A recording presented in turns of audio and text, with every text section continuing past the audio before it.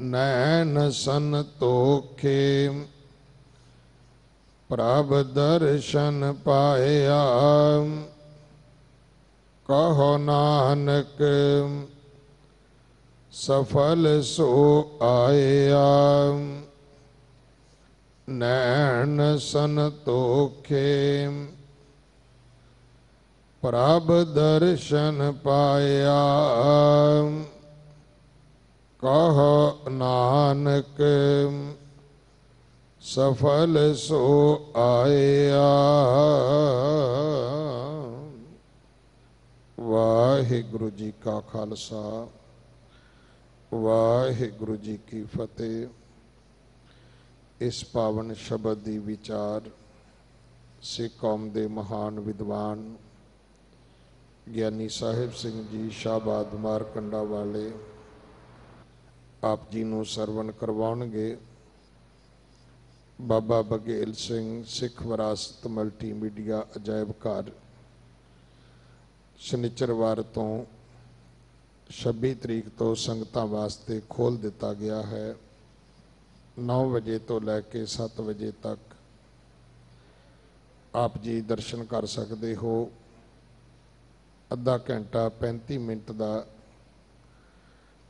ਉੱਥੇ ਸਮਾਂ ਲਗਾਉਣ ਤੋਂ ਬਾਅਦ ਆਪ ਜੀ ਨਿਸ਼ਚੈ ਹੀ ਸਿੱਖ ਧਰਮ ਦਾ ਜੋ ਮੁੱਢਲਾ ਗਿਆਨ ਹੈ ਉਸ ਨੂੰ ਨਵੀਂ ਤਕਨੀਕ ਦੇ ਰਾਹੀਂ ਹਾਸਲ ਕਰ ਸਕਦੇ ਹੋ। ਆਪ ਵੀ ਆਓ, ਬੱਚਿਆਂ ਨੂੰ, ਸਖੇ ਸੰਬੰਧੀ ਰਿਸ਼ਤੇਦਾਰਾਂ ਨੂੰ ਪ੍ਰੇਰਣਾ ਕਰੋ। ਦਿੱਲੀ ਕਮੇਟੀ ਦੇ ਪ੍ਰਬੰਧਕ ਸੇਵਾਦਾਰ ਜਿਨ੍ਹਾਂ ਨੇ ਇਹ ਯਤਨ ਕੀਤਾ ਹੈ ਕਿ ਇਸ ਗੁਰੂ ਘਰ ਨੂੰ ਸੋਹਣਾ ਬਣਾਇਆ ਜਾਏ, ਸਾਫ਼ ਸੁਥਰਾ ਬਣਾਇਆ ਜਾਏ। ਵਡਿਆਈਆਂ ਗੁਰੂ ਹਰਕ੍ਰਿਸ਼ਨ ਸਾਹਿਬ ਮਹਾਰਾਜ ਦੀਆਂ ਨਾ ਕੋਈ ਵਧਾ ਸਕਦਾ ਹੈ, ਨਾ ਕੋਈ ਘਟਾ ਸਕਦਾ ਹੈ। ਸਾਡੇ ਜੁਮੇ ਸਤਿਗੁਰੂ ਨੇ ਸੇਵਾ ਲਾਈ ਹੈ। ਆਓ ਸਾਰੇ ਰਲ ਮਿਲ ਕੇ ਇੱਕ ਪਰਿਵਾਰ ਵਾਂਗ ਕਰੀਏ, ਤਾਂ ਕਿ ਜਦੋਂ ਵੀ ਕੋਈ ਬੰਗਲਾ ਸਾਹਿਬ ਆਵੇ, ਸੱਚਮੁੱਚ ਪ੍ਰਭਾਵਿਤ ਹੋ ਕੇ ਜਾਵੇ ਕਿ ਸਿੱਖ ਇੰਨੇ ਸੁੰਦਰ ਤਰੀਕੇ ਨਾਲ ਆਪਣੇ ਗੁਰੂ ਘਰ ਦੀ ਸੇਵਾ ਸੰਭਾਲ ਕਰਦੇ ਨੇ। ਅਗਲੇ ਸਮੇਂ ਵਾਸਤੇ ਗੁਰਬਾਣੀ ਵਿਚਾਰ ਸਰਵਣ ਕਰੋ ਜੀ। ਵਾਹਿਗੁਰੂ ਜੀ ਕਾ ਖਾਲਸਾ, ਵਾਹਿਗੁਰੂ ਜੀ ਕੀ ਫਤਿਹ। ਵਾਹਿਗੁਰੂ ਜੀਓ। ਇੱਕ ਓੰਕਾਰ ਸਤਨਾਮ। ਕਰਤਾ ਪੁਰਖ ਨਿਰਭਉ ਨਿਰਵੈਰ ਅਕਾਲ ਮੂਰਤ ਅਜੂਨੀ ਸੈਭੰ ਗੁਰ ਪ੍ਰਸਾਦ ਧਰਮਾਂ ਦੇ ਹਾਂਡੇ ਦਰਬਾਰ। ਤੁਧ ਬਿਨ ਸੁਰਤ ਕਰੇ ਕੋ ਮੇਰੀ। ਦਰਸ਼ਨ ਦੀਜੈ ਖੋਲ ਕੇ ਵਾਰ। ਤੁਮ ਧਨ ਧਨੀ ਉਦਾਰ ਤਿਆਗੀ। ਸ਼ਰਮਨਨ ਸੁਨੀਅਤ ਸੁਜਸ ਤੁਮਾਰ। ਮੰਗੋ ਕਾਏ ਰੰਗ ਸਭ ਦੇਖੋ ਤੁਮ ਹੀ ਤੇ ਮੇਰੋ ਨਿਸਤਾਰ ਜੈ ਦਿਓ ਨਾਮਾ ਬਿਪਸੁਦਾਮਾ ਤਿਨ ਕੋ ਕਿਰਪਾ ਭਈ ਹੈ ਅਪਾਰ ਕਹਿ ਕਬੀਰ, ਤੁਮ ਸਮਰਥ ਦਾਤੇ। ਚਾਰ ਪਦਾਰਥ ਦੇਤ ਨ ਬਾਰ ਹਮ ਅਵ ਗੁਣ ਭਰੇ ਏਕ ਗੁਣ ਨਾਹੀ। ਅੰਮ੍ਰਿਤ ਛਾੜ ਬਿਖੈ ਬਿਖ ਖਾਈ। ਮਾਇਆ ਮੋਹ ਭਰਮ ਪੈ ਭੂਲੇ। ਸੁਤ ਦਾ ਰਾਸਿਓ ਪ੍ਰੀਤ ਲਗਾਈ। ਇੱਕ ਉੱਤਮ ਪੰਥ ਸੁਨਿਓ ਗੁਰ ਸੰਗਤ। ਤੇ ਮਿਲੰਤ ਜਮ ਤਰਾਸ ਮਿਟਾਈ। ਇਕ ਅਰਦਾਸ ਭਾਟ ਕੀਰਤ ਕੀ। ਗੁਰ ਰਾਮਦਾਸ ਰੱਖੋ ਸ਼ਰਣਾਈ।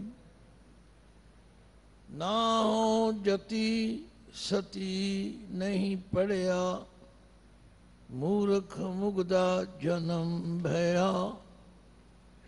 ਪ੍ਰਣਵਤ ਨਾਨਕ ਤਿਨ ਕੀ ਸ਼ਰਣਾ, ਜਿਨ ਤੂੰ ਨਾਹੀ ਵਿਸਰਿਆ। ਜਾਗਦੀ ਜੋਤ, ਜ਼ਾਹਰਾ ਜ਼ਹੂਰ,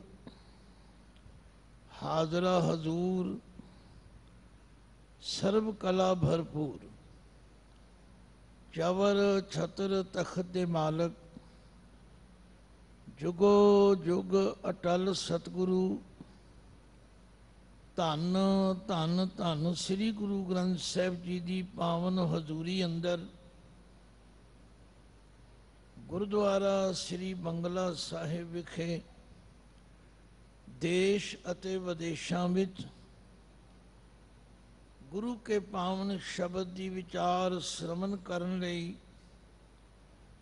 ਜੁੜ ਬੈਠੀ ਸਮੂਹ ਸਾਧ ਸੰਗਤ ਜੀਓ, ਸਭ ਤੋਂ ਪਹਿਲਾਂ ਗੁਰੂ ਪਾਤਸ਼ਾਹ ਦੀ ਬਖਸ਼ੀ ਹੋਈ ਫਤਿਹ ਗਜਾਓ। ਵਾਹਿਗੁਰੂ ਜੀ ਕਾ ਖਾਲਸਾ। ਵਾਹਿਗੁਰੂ ਜੀ ਕੀ ਫਤਿਹ। ਗੁਰੂ ਪਾਤਸ਼ਾਹ ਦੀ ਅਪਾਰ ਕਿਰਪਾ ਦਾ ਸਦਕਾ ਸ੍ਰੀ ਗੁਰੂ ਗ੍ਰੰਥ ਸਾਹਿਬ ਜੀ ਦੀ ਪਵਿੱਤਰ ਬਾਣੀ ਦੀ ਲੜੀਵਾਰ ਵਿਚਾਰ ਪਿਛਲੇਰੇ ਕਈ ਸਾਲਾਂ ਤੋਂ ਇਸ ਅਸਥਾਨ ਤੋਂ ਕੀਤੀ ਜਾਂਦੀ ਹੈ ਔਰ ਇਸ ਵਿਚਾਰ ਦੇ ਨਾਲ ਸੁਣਨ ਵਾਲੇ ਜਗਿਆਸੂਆਂ ਤੇ ਮੇਰੇ ਵਰਗੇ ਵਿਚਾਰ ਕਰਨ ਵਾਲੇ ਸੇਵਾਦਾਰਾਂ ਨੂੰ ਆਪਣੇ ਜੀਵਨ ਦੀ ਸਫਲਤਾ ਲਈ ਗੁਰੂ ਪਾਤਸ਼ਾਹ ਸਿੱਖਿਆ ਦਿੰਦੇ ਹਨ। ਹਾਂ, ਇੱਕ ਗੱਲ ਜ਼ਰੂਰ ਹੈ ਕਿ ਜਿਹੜੇ ਸਿਰਫ ਸੁਣਨ ਤੇ ਅੜ ਗਏ ਨੇ, ਅੱਗੇ ਨਹੀਂ ਤੁਰਦੇ ਇਹ ਉਹਨਾਂ ਦਾ ਦੋਸ਼ ਹੈ। ਆ ਹੁਣੇ ਹੁਣੇ ਜਦੋਂ ਮੈਂ ਗੁਰਦੁਆਰਾ ਸਾਹਿਬ ਦੇ ਗੇਟ ਵਿੱਚ ਐਂਟਰ ਕਰ ਰਿਹਾ ਸੀ, ਇੱਕ ਸੱਜਣ ਪੁੱਛ ਰਿਹਾ ਸੀ ਕਿ ਫਲਾਣੀ ਜਗ੍ਹਾ ਨੂੰ ਰਸਤਾ ਕਿਹੜਾ ਜਾਂਦਾ ਹੈ। ਤੇ ਜਿਹੜਾ ਦੱਸਣ ਵਾਲਾ ਸੀ, ਉਹਨੇ ਕਿਹਾ, ਭਾਈ, ਮੈਂ ਤੈਨੂੰ 1 2 3 4 5 ਵਾਰੀ ਦੱਸ ਚੁੱਕਾ ਤੂੰ ਫੇਰ ਇੱਥੇ ਦਾ ਇੱਥੇ ਖੜਾ ਹੈ, ਦੱਸ ਮੈਂ ਤੇਰਾ ਕੀ ਇਲਾਜ ਕਰਾਂ? ਸੱਚਮੁੱਚ ਮੈਨੂੰ ਤੇ ਇਵੇਂ ਹੀ ਲੱਗਦਾ ਹੈ ਕਿ ਅਸੀਂ ਸੁਣਦੇ ਸੁਣਦੇ ਆਪਣੇ ਜੀਵਨ ਦਾ ਬਹੁਤਾ ਸਮਾਂ ਬਤੀਤ ਕਰ ਚੁੱਕੇ ਹਾਂ, ਪਰ ਅੱਗੇ ਤੁਰਦੇ ਨਹੀਂ। ਨਾ ਤੁਰਨ ਕਰਕੇ ਅਸੀਂ ਉੱਥੇ ਦੇ ਉੱਥੇ ਖੜੇ। ਗੁਰਬਾਣੀ ਵਿੱਚ ਬਹੁਤ ਸਾਰੀਆਂ ਮਿਸਾਲਾਂ ਦੇ ਕੇ ਸਮਝਾਇਆ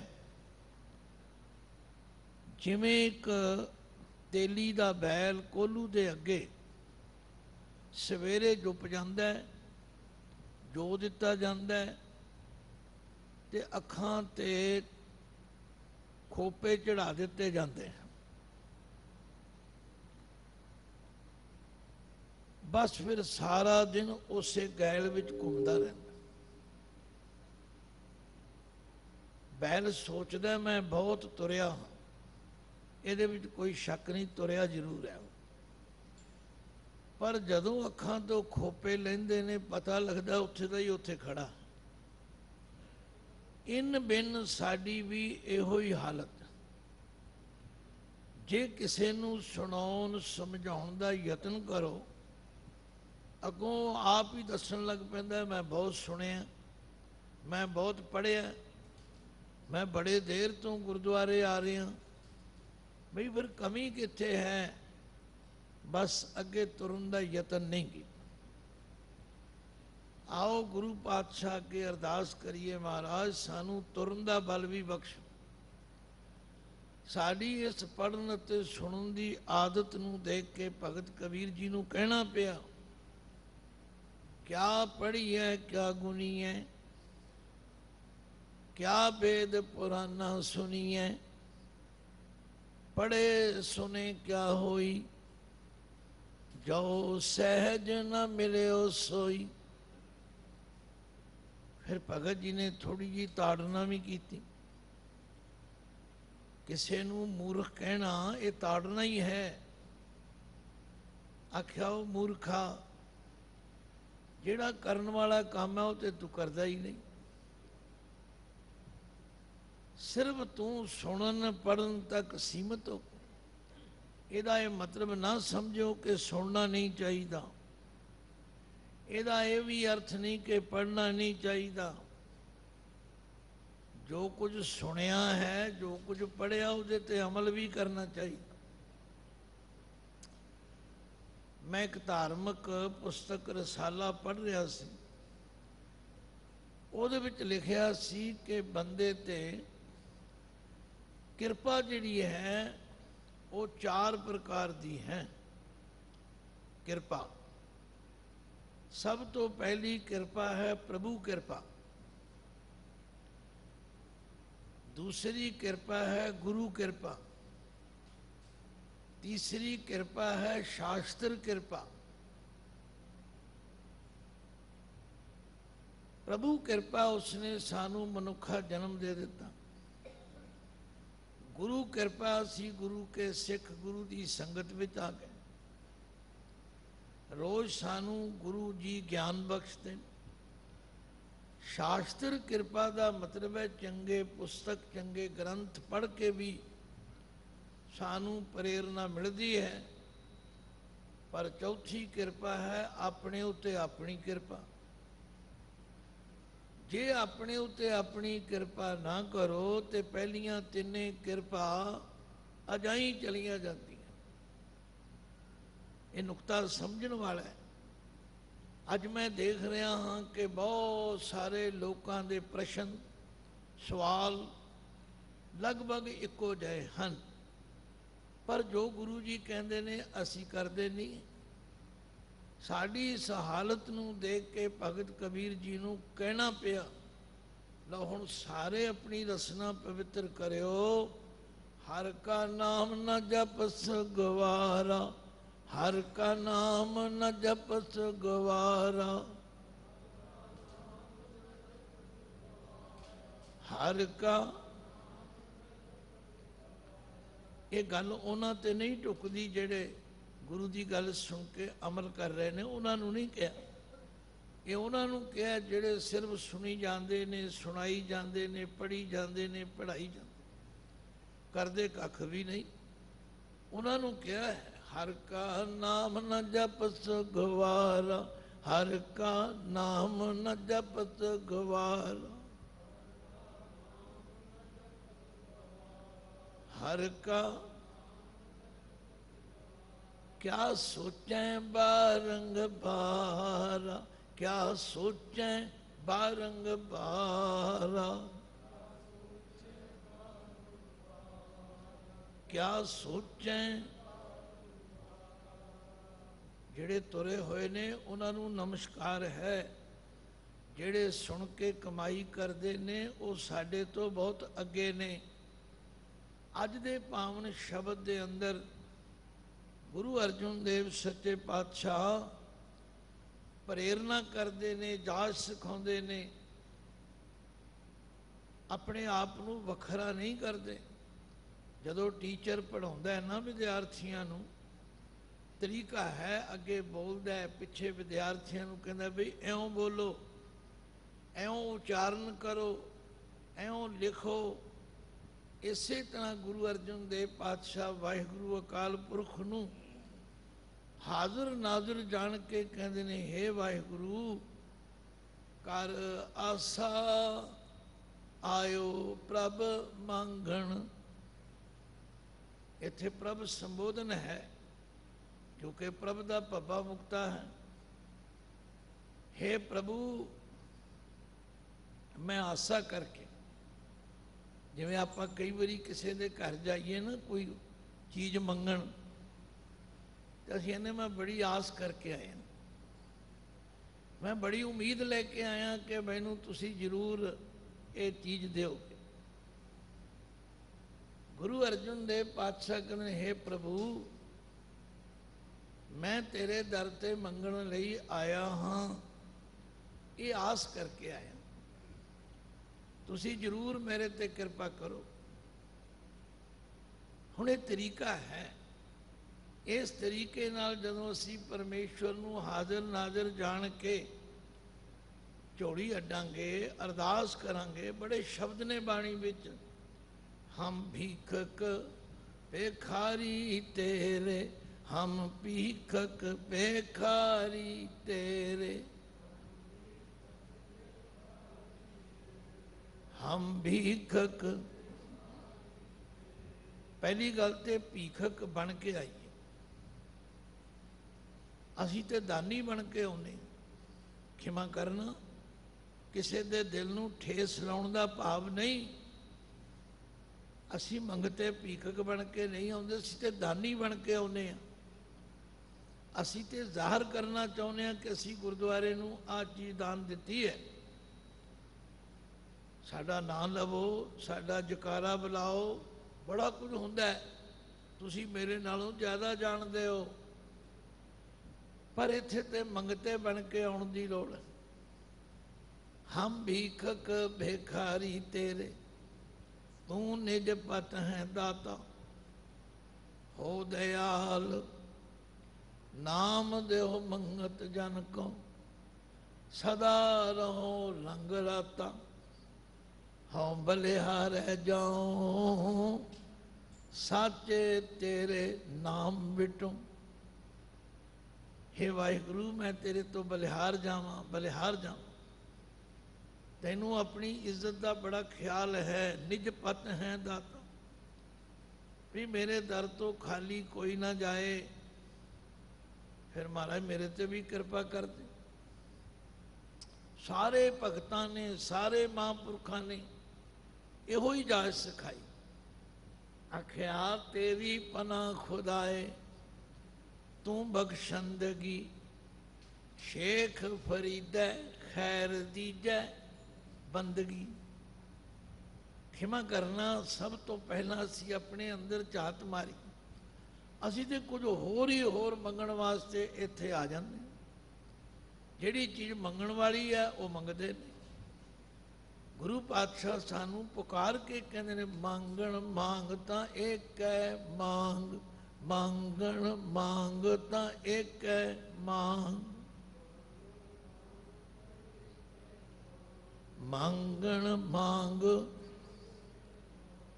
ਜੇ ਮੰਗਣਾ ਹੈ ਤੇ ਇੱਕ ਚੀਜ਼ ਮੰਗ। हे ਵਾਹਿਗੁਰੂ, ਤੂੰ ਹੀ ਆ ਜਾ ਮੇਰੇ ਅੰਦਰ। ਤੂੰ ਹੀ ਮੈਨੂੰ ਆਪਣੇ ਚਰਨਾਂ ਨਾਲ ਜੋੜ ਲੈ। ਪਰ ਮੰਗਣ ਦੀ ਜਾਚ ਸਿੱਖ ਲਈ। ਤੇ ਮੰਗਣ ਵਾਲੇ ਦੀ ਢੀਠਤਾ, ਦ੍ਰਿੜਤਾ ਵੀ ਸਿੱਖ ਲਈ। ਮੈਂ ਕਈ ਵਾਰੀ ਮਿਸਾਲ ਦਿੰਨਾ ਕਿ ਕੋਈ ਮੰਗਤਾ ਤੁਹਾਡੇ ਘਰ ਦਾ ਦਰਵਾਜ਼ਾ ਖੜਕਾਉਂਦਾ ਹੈ, ਆਵਾਜ਼ ਮਾਰਦਾ ਹੈ, ਬੀਬੀ ਜੀ, ਸਤਨਾਮ ਜੀ ਕੁਝ ਵੀ ਕਹਿੰਦਾ ਹੈ। ਤੁਸੀਂ ਆਵਾਜ਼ ਸੁਣ ਲੈਂਦੇ ਹੋ, ਫਿਰ ਵੀ ਤੁਸੀਂ ਕਈ ਵਾਰੀ ਲਾਪਰਵਾਹੀ ਹੋ ਇਤਨਾ ਮੰਗਤੇ ਤੁਰੇ ਫਿਰਦੇ ਤੁਸੀਂ ਫਿਰ ਆਪਣੇ ਕੰਮਕਾਰ ਤੇ ਲੱਗ ਜਾਂਦੇ ਹੋ, ਫਿਰ ਆਵਾਜ਼ ਮਾਰਦਾ। ਗੱਲ ਕੀ ਜਿਹੜਾ ਢੀਠ ਮੰਗਤਾ ਹੈ ਨਾ, ਉਹ ਫਿਰ ਕੁਝ ਲੈ ਕੇ ਹੀ ਜਾਂਦਾ ਹੈ। ਅਸੀਂ ਤੇ ਹੋਰ ਹੀ ਤਰੀਕਾ ਅਪਣਾ ਲਿਆ, ਚੱਲ ਇੱਥੇ ਨਹੀਂ ਤੇ ਉੱਥੇ ਉੱਥੇ ਨਹੀਂ ਤੇ ਉੱਥੇ ਉੱਥੇ ਨਹੀਂ ਤੇ ਉੱਥੇ। ਦਰ ਦਰ ਦੇ ਮੰਗਤੇ ਬਣੇ। ਨਹੀਂ ਇੱਕ ਪਰਮੇਸ਼ਵਰ ਦੇ ਦਰ ਤੇ ਆਓ। ਤੇ ਉਸ ਦਰ ਤੋਂ ਆ ਕੇ ਮੰਗੋ ਤੇ ਮੰਗੋ ਪਰਮੇਸ਼ਵਰ ਦਾ ਨਾਮ। ਗੁਰੂ ਅਰਜਨ ਦੇਵ ਪਾਤਸ਼ਾਹ ਕਹਿੰਦੇ ਨੇ, ਮੈਨੂੰ ਲੋਕ ਕਹਿੰਦੇ, ਤੁਸੀਂ ਹੋਰ ਕਿਉਂ ਨਹੀਂ ਕੁਝ ਮੰਗਦੇ? ਕਹਿੰਦੇ, ਮੈਂ ਇਸ ਲਈ ਨਹੀਂ ਮੰਗਦਾ ਕਿ ਮੈਨੂੰ ਸਮਝ ਆ ਗਈ ਹੈ। ਹੋਰ ਕੋਈ ਵਸਤੂ ਮੇਰੇ ਨਾਲ ਨਹੀਂ ਜਾਣੀ। ਮੰਗੋ ਦਾਨ, ਠਾਕੁਰ ਨਾਮ। ਮੰਗੋ ਦਾਨ, ਠਾਕੁਰ ਨਾਮ।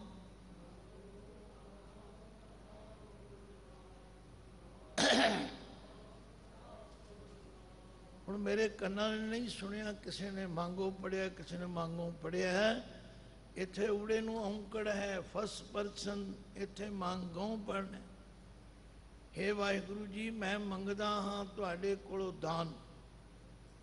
ਦਾਨ ਕਾਦਾ ਮੰਗਦਾ? ਤੁਹਾਡੇ ਨਾਮ ਦਾ। ਹੋਰ ਕੁਝ ਕਿਉਂ ਨਹੀਂ ਮੰਗਦਾ? ਅਵਰ ਕਛੂ ਮੇਰੇ ਸੰਗ ਨ ਚੱਲੇ। ਅਵਰ ਕਛੂ ਮੇਰੇ ਸੰਗ ਨ ਚੱਲੇ।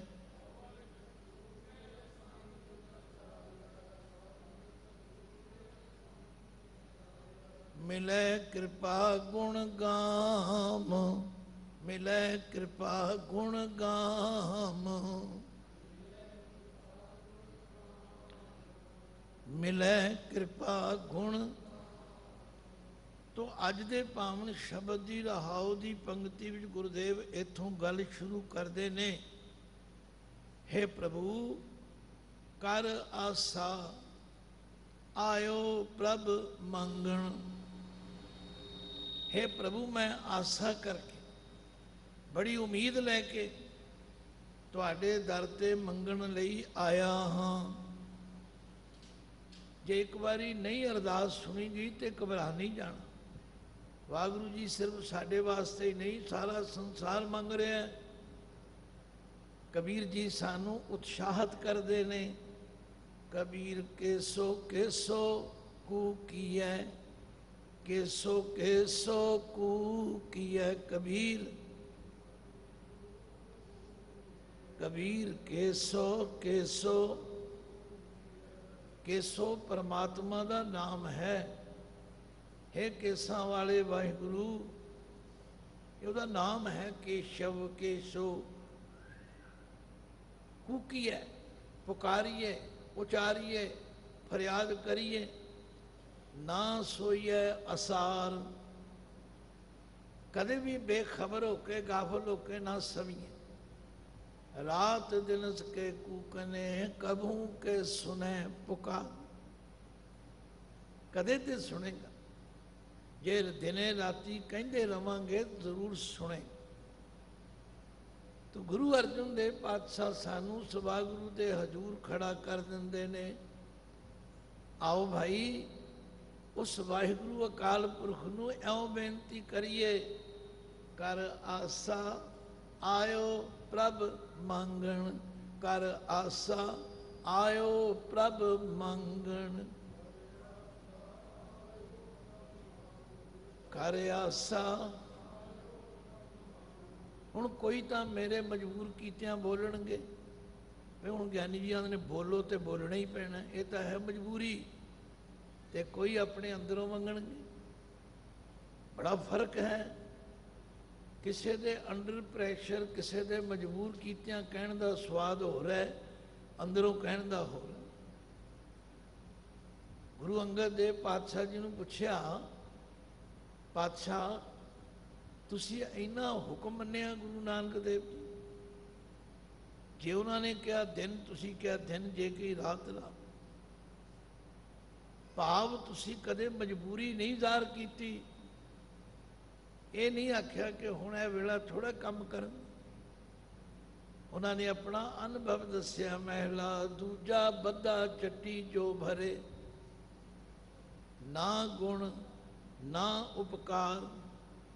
ਸੇਤੀ ਖੁਸ਼ੀ ਸਵਾਰੀਐ, ਨਾਨਕ ਕਾਰਜ ਸਾਲ ਜਿੱਥੇ ਹੋਰ ਬਹੁਤ ਕੁਝ ਮੰਗਦੇ ਹਾਂ ਗੁਰਦੇਵ ਕਹਿੰਦੇ ਨੇ ਇਹ ਵੀ ਇਸ ਤਰ੍ਹਾਂ ਮੰਗੋ ਕਰ ਆਸਾ ਆਇਓ ਪ੍ਰਭ ਮੰਗਣ ਕਰ ਆਸਾ ਆਇਓ ਪ੍ਰਭ ਮੰਗਣ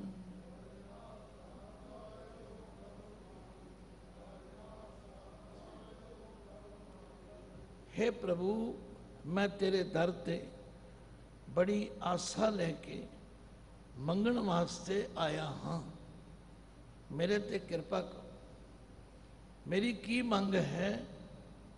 ਤੁਮ ਪੇਖਤ ਸ਼ੋਭਾ ਮੇਰੇ ਆਂਗਨ ਆਂਗਨ ਸ਼ਬਦ ਆਮ ਵਰਤਿਆ ਜਾਂਦਾ ਸੀ। ਵਿਹੜੇ ਨੂੰ ਆਂਗਣ ਕਹਿੰਦੇ ਇੱਥੇ ਵਿਹੜੇ ਦਾ ਮਤਲਬ ਹੈ ਮੇਰੇ ਹਿਰਦੇ ਰੂਪੀ ਵਿਹੜੇ ਵਿੱਚ। ਤੁਮ ਪੇਖਤ ਤੁਹਾਡੇ ਦਰਸ਼ਨ ਕਰਦਿਆਂ ਸੋਭਾ ਮੇਰੇ ਆਂਗਨ ਜਿਵੇਂ ਕੋਈ ਸਾਡੇ ਘਰ ਆ ਜਾਏ ਤੇ ਬਹੁਤ ਵੱਡਾ ਆਦਮੀ ਹੋਵੇ, ਅਸੀਂ ਕਹਿੰਦੇ ਹਾਂ, ਮਹਾਰਾਜ, ਤੁਹਾਡੇ ਆਉਣ ਨਾਲ ਤੇ ਸਾਡੇ ਭਾਗ ਜਾਗ ਪਏ। ਤੁਸੀਂ ਤਾਂ ਕੀੜੀ ਕਰਨ ਰਹਿਣ ਆ ਗਏ। ਬੜੇ ਸ਼ਬਦ ਵਰਤੇ ਆ। ਗੁਰਦੇਵ ਦੇ ਸਮਝਾਉਣ ਦਾ ਤਰੀਕਾ ਬੜਾ ਹੀ ਸਰਲ ਹੈ। ਆਖਿਆ, ਤੁਮ ਪੇਖਤ ਸ਼ੋਭਾ ਮੇਰੇ ਆਂਗਨ। ਤੁਹਾਡੇ ਦਰਸ਼ਨ ਕਰਦੇ ਕਰਦਿਆਂ ਮੇਰੇ ਆਂਗਣ ਹਿਰਦੇ ਰੂਪੀ ਵਿਹੜੇ ਵਿੱਚ ਸ਼ੋਭਾ ਬਣ ਜਾਂਦੀ ਸ਼ਾਨ ਬਣ ਜਾਂਦੀ ਹੈ। ਜਦੋਂ ਕੋਈ ਵੱਡਾ ਆਦਮੀ ਸਾਡੇ ਘਰ ਆਵੇ ਜਿਹਦੀ ਕਦੇ ਆਸ ਉਮੀਦ ਵੀ ਨਾ ਹੋਵੇ ਤੇ ਅਸੀਂ ਸਹਿਜੇ ਹੀ ਪ੍ਰਸੰਨਤਾ ਵਿੱਚ ਕਹਿੰਦੇ ਹਾਂ, ਅੱਜ ਤੇ ਕੀੜੀ ਕਰਨ ਰਹਿਣਾ ਆ ਗਿਆ ਇੱਕ ਭਾਵਨਾ ਹੈ ਇਹ ਸ਼ਬਦ ਦੇ ਰਹਾਉ ਦੀ ਪੰਕਤੀ ਹੈ। ਇਹਦੇ ਉੱਤੇ ਸਮਾਂ ਜ਼ਿਆਦਾ ਇਸ ਲਈ ਲਾਉਣਾ ਪੈਂਦਾ ਕਿ ਸਾਡੇ ਮਨ ਦੀ ਅਵਸਥਾ ਐਉਂ ਬਣ ਕਿਉਂਕਿ ਬਾਣੀ 'ਚ ਲਿਖਿਆ ਉਂਦੇ ਭਾਂਡੇ ਕਛ ਨਾ ਸਮਾਵੇ, ਸੀਧੇ ਅੰਮ੍ਰਿਤ ਪਰੇ ਨਿਹਾਲ। ਜਿਨ੍ਹਾਂ ਦਾ ਬਰਤਨ ਹੀ ਉਲਟਾ ਹੈ, ਭਾਵੇਂ ਕਿੰਨਾ ਮੀਂਹ ਪੈ ਜਾਏ, ਕਿੰਨੇ ਕੀਰਤਨ ਦਰਬਾਰ ਹੋ ਜਾਣ, ਕਿੰਨੇ ਕਥਾ ਦਰਬਾਰ ਹੋ ਜਾਣ ਉਹਨਾਂ ਨੇ ਤੇ ਇਹੀ ਵੇਖੀ ਜਾਣਾ ਵੀ ਗੋਲ ਕਿੰਨੀ ਹੋਈ ਹੈ, ਸੰਗਤ ਕਿੰਨੀ ਆਈ ਹੈ, ਵਾਹ ਵਾਹ ਲੰਗਰ ਗਿਆ ਰਹਿ ਜਾਂਦੇ ਮੈਂ ਰੋਜ਼ ਵਿਚਰ ਕੇ ਦੇਖਦਾ ਮੈਂ ਅੱਗੇ ਵੀ ਇੱਕ ਵਾਰੀ ਕਿਹਾ ਸੀ ਵੀ ਉਹ ਸੁਥਰੇ ਸਾਹ ਦੇ ਕਹਿਣ ਵਾਂਗੂ ਅਸੀਂ ਸੁਣਦੇ ਸੁਣਾਉਂਦੇ ਜ਼ਰੂਰ ਆ ਪਰ ਜੇ ਕੋਈ ਬਾਹਰ ਜਾ ਕੇ ਪੁੱਛ ਲੈ ਵੀ ਕੀ ਸੁਣ ਕੇ ਆਏ ਹੋ, ਤੇ ਸਾਡਾ ਜਵਾਬ ਕੀ ਹੁੰਦਾ ਹੈ? ਪਤਾ ਨਹੀਂ ਜੀ, ਬੈਠੇ ਤੇ ਸਾਹ ਸੁਣਿਆ ਵੀ ਹੈ, ਪਰ ਪਤਾ ਨਹੀਂ ਕੀ ਸੁਣਿਆ। ਸੁਥਰੇ ਦਾਸ ਦੀ ਸਾਖੀ ਸੁਣੀ ਨਾ ਸੁਣੀ। ਕਹਿੰਦੇ ਇੱਕ ਦਿਨ ਕੀਰਤਨ ਹੋ ਰਿਹਾ ਸੀ ਤੇ ਬੀਬੀਆਂ ਆਪਣੀਆਂ ਗੱਲਾਂ ਕਰੀ ਜਾਣ, ਬੰਦੇ ਆਪਣੀਆਂ ਕਰੀ ਜਾਣ ਤੇ ਰਾਗੀ ਵੀ ਟੁੱਟੇ ਜੇ ਮਨ ਨਾਲ ਬਈ ਹੁਣ ਡਿਊਟੀ ਕਰਨੀ ਪੈਣੀ, ਕਰੀ ਜਾ। ਕਹਿੰਦੇ ਸੁਥਰੇ ਸ਼ਾਹ ਜੀ ਆਏ ਤੇ ਐਉਂ ਹੱਥ ਜੋੜ ਕੇ ਨਾ ਹੌਲੀ ਜੇ ਮੂੰਹ ਬਣਾ ਕੇ ਕਹਿੰਦੇ ਨੇ, ਫਿੱਟੇ ਮੂੰਹ ਸੁਣਨ ਵਾਲਿਆਂ ਦਾ, ਲੱਖ ਲਾਨਤ ਸੁਣਾਉਣ ਵਾਲਿਆਂ ਕਹਿ ਕੇ ਚਲੇ ਗਏ। ਬੜਾ ਮਾਹੌਲ ਗਰਮ ਹੋ ਗਿਆ। ਰਾਗੀ ਸਿੰਘਾਂ ਨੇ ਵੀ ਸ਼ਿਕਾਇਤ ਕੀਤੀ, ਮਹਾਰਾਜ, ਸੁਥਰਾ ਸਾਹਿਬ ਬੜਾ ਸਿਰ ਚੜਿਆ ਅੱਜ ਵੇਖੋ, ਇਹਨੇ ਆ ਗੱਲ ਕਹੀ ਕਿੰਨੀ ਹੱਦ ਤੱਕ ਕੋਈ, ਕਿੰਨੀ ਬੇਇੱਜ਼ਤੀ ਕੀਤੀ ਉਹਨੇ ਸਰ। ਗੁਰੂ ਹਰਗੋਬਿੰਦ ਸਾਹਿਬ ਸੱਚੇ ਪਾਤਸ਼ਾਹ ਨੇ ਸੁਥਰੇ ਸ਼ਾਹ ਨੂੰ ਬੁਲਾ ਲਿਆ। ਕਿਉਂ ਬਈ ਸੁਥਰੇ ਸ਼ਾਹ, ਤੂੰ ਇਹ ਗੱਲ ਕਹੀ ਹੈ? ਆਂਦਾ ਮਾਰੇ, ਮੈਂ ਭੁੱਲਣ ਹਾਰ ਹਾਂ। ਮੇਰੀ ਗਲਤੀ ਮਾਫ ਕਰਿਓ। ਇਹਨਾਂ ਨੂੰ ਇਹ ਪੁੱਛੋ, ਰਾਗੀ ਸਿੰਘਾਂ ਨੂੰ, ਕਿ ਉਸ ਵੇਲੇ ਜਦੋਂ ਮੈਂ ਇਹ ਗੱਲ ਕਹੀ, ਇਹ ਸ਼ਬਦ ਕਿਹੜਾ ਪੜ ਰਹੇ ਸਨ? ਰਾਗੀ ਸਿੰਘ ਚੁੱਪ। ਇਹਨਾਂ ਸੰਗਤਾਂ ਨੂੰ ਪੁੱਛ ਲਓ, ਉਸ ਵੇਲੇ ਕਿਹੜੇ ਸ਼ਬਦ ਦਾ ਕੀਰਤਨ ਹੋ ਰਿਹਾ ਸੀ? ਸਾਰੇ ਚੁੱਪ। ਕਿਸੇ ਕੋਲ ਕੋਈ ਜਵਾਬ ਨਹੀਂ ਸੀ। ਆਖਣ ਦਾ ਕਮਾਲ ਦੀ ਗੱਲ ਹੈ। ਮੇਰੀ ਫਿੱਟੇ ਮੂੰਹ ਤੇ ਲੱਖ ਲਾਨਤ ਇਹਨਾਂ ਨੂੰ ਯਾਦ ਰਹਿ ਗਈ ਹੈ। ਇਹਨਾਂ ਨੂੰ ਸ਼ਬਦ ਦਾ ਪਤਾ ਹੀ ਕੋਈ ਮਹਾਰਾਜ ਮੈਂ ਭੁੱਲਣ ਹਾਰ ਹਾਂ। ਮੈਂ ਇਹੋ ਜਿਹੀਆਂ ਗਲਤੀਆਂ ਕਰਦਾ ਹੀ ਰਹਿਣਾ ਮੈਨੂੰ ਮਾਫ ਕਰ ਦਿਆ। ਦੇਖੋ, ਇਹਦੇ 'ਚ ਕਿੰਨੀ ਵੱਡੀ ਰਮਦ ਹੈ। ਭਾਈ ਗੁਰੂ ਘਰ ਆਏ ਆ ਗੁਰੂ ਦਾ ਸ਼ਬਦ ਸੁਣ ਕੇ ਹਿਰਦੇ ਵਿੱਚ ਵਸਾਈਏ। ਤੇ ਗੁਰੂ ਅਰਜਨ ਦੇ ਪਾਤਸ਼ਾਹ ਤੋਂ ਜਾਚ ਸਿੱਖ ਲਈਏ, ਫਿਰ ਇੱਕ ਵਾਰੀ ਕਰੋ ਰਸਨਾ ਪਵਿੱਤਰ, ਕਰ ਆਸਾ ਆਇਓ ਪ੍ਰਭ ਮੰਗਣ, ਕਰ ਆਸਾ ਆਇਓ ਪ੍ਰਭ ਮੰਗਣ।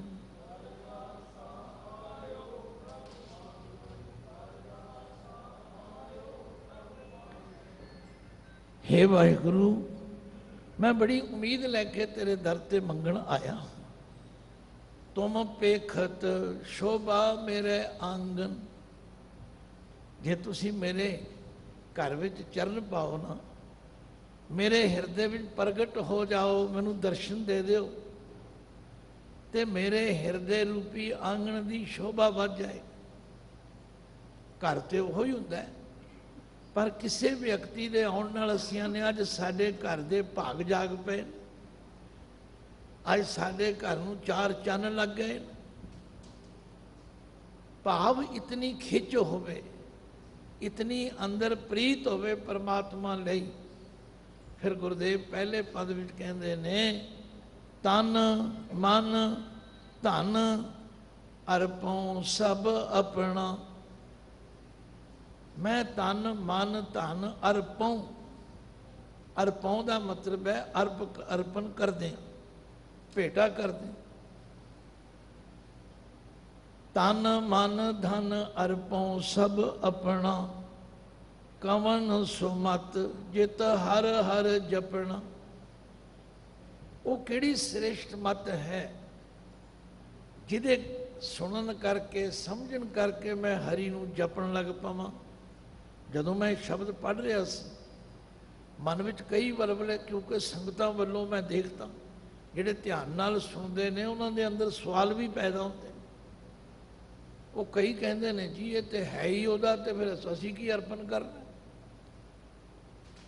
ਹੈ ਹੀ ਉਹਦਾ। ਮੈਨੂੰ ਭਾਈ ਸਾਹਿਬ, ਭਾਈ ਵੀਰ ਸਿੰਘ ਜੀ ਦੀ ਗੱਲ ਚੇਤੇ ਆਈ। ਉਹਨਾਂ ਨੇ ਬੜੇ ਗ੍ਰੰਥ ਲਿਖੇ ਨੇ। ਉਹ ਬੜੇ ਉੱਚ ਪਾਏ ਦੇ।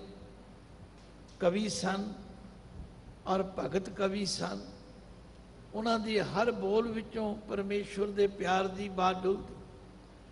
ਉਹਨਾਂ ਨੇ ਕਦੇ ਕਿਸੇ ਗ੍ਰੰਥ ਨੂੰ ਲਿਖਣ ਲੱਗਿਆ ਜਾਂ ਲਿਖ ਕੇ ਆਪਣਾ ਨਾਮ ਨਹੀਂ ਲਿਖਿਆ।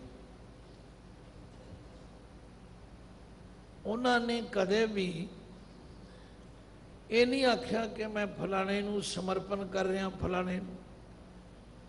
ਆ ਜਿਹੜਾ ਗੁਰਪ੍ਰਤਾਪ ਸੂਰਜ ਗ੍ਰੰਥ ਹੈ ਨਾ ਜਦੋਂ ਇਹਨਾਂ ਦੀਆਂ ਉਹਨਾਂ ਨੇ ਟੂਕਾਂ ਲਿਖੀਆਂ, ਅਰਥ ਲਿਖੇ, ਬੜੀ ਮਿਹਨਤ ਕੀਤੀ। ਤੇ ਉਹਦੇ ਆਰੰਭ ਵਿੱਚ ਇੱਕ ਸਮਰਪਣ ਲਿਖਿਆ, ਸਮਰਪਣ। ਕਈ ਵਾਰ ਤੁਸੀਂ ਪੜ੍ਹਦੇ ਹੋ ਨਾ ਪੁਸਤਕਾਂ, ਕੋਈ ਆਂਦਾ ਜੀ, ਮੈਂ ਆਪਣੇ ਮਾਤਾ ਜੀ ਨੂੰ ਸਮਰਪਿਤ ਕਰ ਰਿਹਾ ਕੋਈ ਪਿਤਾ ਜੀ ਨੂੰ, ਕੋਈ ਦੇਸ਼ ਦੇ ਸ਼ਹੀਦਾਂ ਨੂੰ। ਆਪਣੀ ਆਪਣੀ ਭਾਵ। ਤੇ ਭਾਈ ਸਾਹਿਬ ਨੇ ਪਤਾ ਕੀ ਲਿਖਿਆ? ਕਹਿੰਦੇ, ਆਪਣੀ ਸ਼ੈ ਕੋਈ ਅਰਪੀਏ ਆਪਣੀ ਸ਼ੈ ਕੋਈ ਅਰਪੀਏ ਤਾਂ ਉਹ ਸਮਰਪਣ ਹੋਏ। ਅੱਗੇ ਹੀ ਜੋ ਆਪ ਦੀ ਕਿੰਜ ਉਹ ਸਮਰਪਣ ਹੋਏ। ਆਖਿਆ, ਹੈ ਵਾਹਿਗੁਰੂ, ਕੋਈ ਆਪਣੀ ਚੀਜ਼ ਦਈਏ ਫਿਰ ਤੇ ਸਮਰਪਣ ਹੋਇਆ। ਇਹ ਤੇ ਹੈ ਹੀ ਤੁਹਾਡੀ। ਅੱਗੇ ਬਹੁਤ ਸੁੰਦਰ ਲਾਈਨਾਂ ਲਿਖੀਆਂ। ਕਹਿੰਦੇ ਨੇ ਜਿਸ ਤਰ੍ਹਾਂ ਇੱਕ ਮਾਲਕ ਨੇ ਆਪਣੇ ਸੈਰ ਕਰਨ ਲਈ ਰਾਜੇ ਨੇ ਸੈਰ ਕਰਨ ਇੱਕ ਬਾਗ ਲਵਾਇਆ ਤੇ ਬਾਗ ਲਾਉਣ ਤੇ ਸੰਭਾਲਣ ਲਈ ਮਾਲੀ ਰੱਖਿਆ ਤੇ ਮਾਲੀ ਨੂੰ ਹਰ ਮਹੀਨੇ ਉਹ ਤਨਖਾਹ ਦਿੰਦਾ।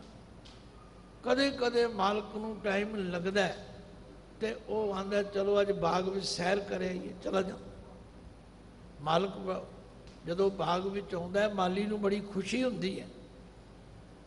ਉਸੇ ਬਾਗ ਵਿੱਚੋਂ, ਬਗੀਚੇ ਵਿੱਚੋਂ ਸੋਹਣੇ ਸੋਹਣੇ ਫੁੱਲ ਤੋੜ ਕੇ ਇੱਕ ਗੁਲਦਸਤਾ ਤਿਆਰ ਕਰਦਾ ਹੈ।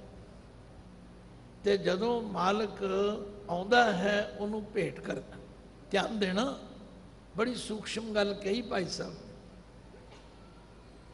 ਕਹਿੰਦੇ ਨੇ, ਮਾਲਕ ਨੂੰ ਪਤਾ ਹੈ ਕਿ ਮੇਰੇ ਹੀ ਬਗੀਚੇ ਦੇ ਫੁੱਲ ਹਨ।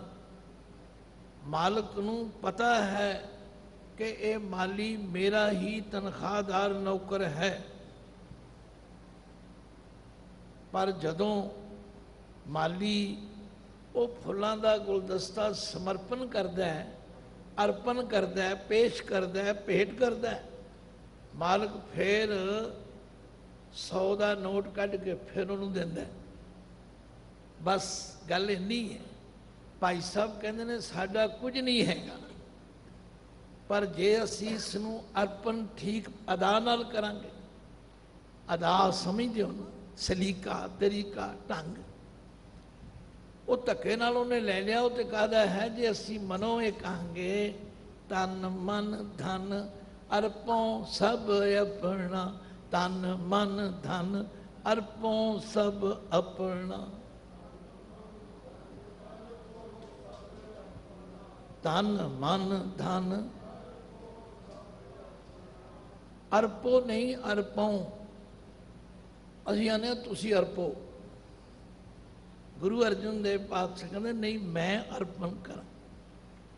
ਬਸ ਉਹ ਅਰਪਣ ਦੀ ਜਿਹੜੀ ਅਦਾ ਹੈ ਉਹ ਜਿਹੜਾ ਭੇਟਾ ਕਰਨ ਦਾ ਤਰੀਕਾ ਹੈ ਜਿਹੜੀ ਅੰਦਰੋਂ ਪਕੜ ਦਾ ਛੱਡ ਦੇਣਾ ਹੈ। ਕਬੀਰ ਮੇਰਾ ਮੁਝ ਮੈਂ ਕਿਛ ਨਹੀਂ। ਮੇਰਾ ਮੁਝ ਮੈਂ ਕਿਛ ਨਹੀਂ।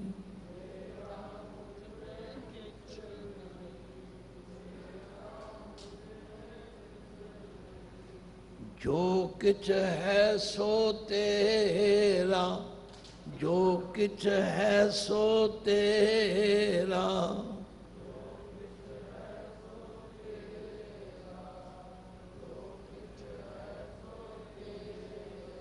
तेरा तुझको सौंपते, तेरा तुझको सौंपते।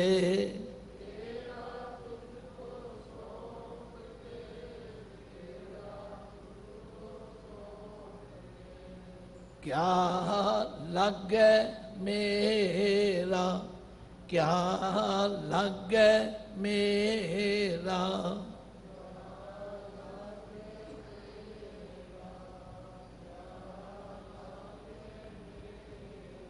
ਅੰਦਰ ਭੁੱਖ ਹੋਵੇ ਚਾਹ ਨਾ ਹੋਵੇ, ਮੈਨੂੰ ਗੁਰੂ ਕੋਲੋਂ ਮਤ ਮਿਲ ਜਾਏ ਸ੍ਰੇਸ਼ਟ ਮਤ ਮਿਲ ਜਾਏ ਮਤ ਤੇ ਸਾਰਿਆਂ ਕੋਲ ਹੈਗੀ ਹੈ, ਖਿਮਾ ਕਰੋ ਪਰ ਜਿਸ ਮਤ ਵਿੱਚ ਵਿਵੇਕ ਆ ਜਾਏਗਾ, ਜਿਹਨੂੰ ਸਮਝ ਆ ਜਾਏਗੀ ਕਿ ਮੇਰਾ ਤੇ ਹੈ ਹੀ ਕੁਝ ਨਹੀਂ। ਪਰ ਇੱਥੇ ਬੇਸਮਝੀ ਨਾਲ ਕੰਮ ਚੱਲ ਰਿਹਾ ਜੀ, ਮੈਂ ਦਾਨ ਕੀਤਾ ਹੈ, ਮੈਂ ਲੰਗਰ ਲਾਇਆ ਹੈ, ਮੈਂ ਆ ਕੁਝ ਗੁਰੂ ਕੀ ਗੋਲਕ ਵਿੱਚ ਪਾਇਆ ਹੈ, ਬਸ ਇਹਨੇ ਕੰਮ ਵਿਗਾੜਿਆ ਹੋਇਆ। ਦੇਖੋ ਜੇ ਤੁਹਾਨੂੰ ਕੋਈ ਦੇਵੇ ਦਾਤਾ, ਉਹ ਜਿਵੇਂ ਆਮ ਕਹਾਵਤ ਹੈ ਨਾ ਵੀ ਦਾਤਾ ਦਾਨ ਕਰੇ, ਦਾਨੀ ਕਾ ਪੇਟ ਫਟੇ। ਅਸੀਂ ਆਪ ਹੀ ਵਿੱਚ ਚੌਧਰੀ ਬਣ ਜਾਂਦੇ। ਸਾਨੂੰ ਤੇ ਇਹ ਕਹਿਣਾ ਚਾਹੀਦਾ ਹੈ ਕਿ ਉਸ ਵਾਹਿਗੁਰੂ ਨੇ ਦਿੱਤਾ ਹੈ ਤੇ ਅਸੀਂ ਦੇਣ ਦੇ ਸਮਰੱਥ ਹਾਂ ਜੋ ਉਹ ਨਾ ਦੇਵੇ। ਜੇ ਤੂੰ ਕਿਸੇ ਨਾ ਦੇਹੀ ਮੇਰੇ ਸਾਹਿਬਾ, ਕਿਆ ਕੋ ਕੱਢੈ ਗਹਿਣਾ? ਨਾਨਕ ਬਿਨਵੈ ਸੋਕ ਜਪਾਈਐ, ਪੁਰਬ ਲਿਖੇ ਕਰ ਲੈਣ। ਅਸੀਂ ਵਿੱਚ ਆਪਣਾ ਹੀ ਕੜਮ ਚੌਧਰੀ ਬਣੇ ਹੋਏ। ਦੇਣਾ ਉਸ ਨੇ ਦਿੱਤਾ ਉਸ ਨੇ ਉਹਦੇ ਦਿੱਤੇ ਵਿੱਚੋਂ ਅਸੀਂ ਦੇਣ ਦੀ ਸਮਰੱਥਾ ਤੇ ਉੱਥੇ ਹੰਕਾਰੀ ਬਣ ਗੁਰਦੇਵ ਕਹਿੰਦੇ ਨੇ, ਭਾਈ, ਇਸ ਤਰ੍ਹਾਂ ਵਾਹਿਗੁਰੂ ਦੇ ਚਰਨਾਂ ਵਿੱਚ ਮੈਂ ਤੇ ਅਰਦਾਸ ਕਰਦਾ हे ਵਾਹਿਗੁਰੂ, ਤਨ, ਮਨ, ਧਨ ਅਰਪਉ ਸਭੇ ਆਪਣਾ, ਕਮਨ ਸੁਮਤ ਜਿਤ ਹਰ ਹਰ ਜਪਣਾ। ਸੁਮਤ। ਮੈਂ ਮਤ ਅਤੇ ਸੁਮਤ ਦੀ ਗੱਲ ਕਰ ਰਿਹਾ। ਮਤ ਦੇ ਦੋ ਰੂਪ ਨੇ, ਇੱਕ ਕੁਮਤ ਹੈ, ਇੱਕ ਸੁਮਤ।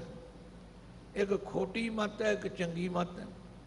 ਉਹ ਕਿਹੜੀ ਚੰਗੀ ਮਤ ਹੈ ਜਿਸ ਨੂੰ ਧਾਰਨ ਕਰਨ ਕਰਕੇ ਮੈਂ ਹਰ ਵੇਲੇ ਹਰੀ ਦਾ ਜਾਪ ਕਰਾਂ, ਸਿਮਰਨ ਕਰਾਂ।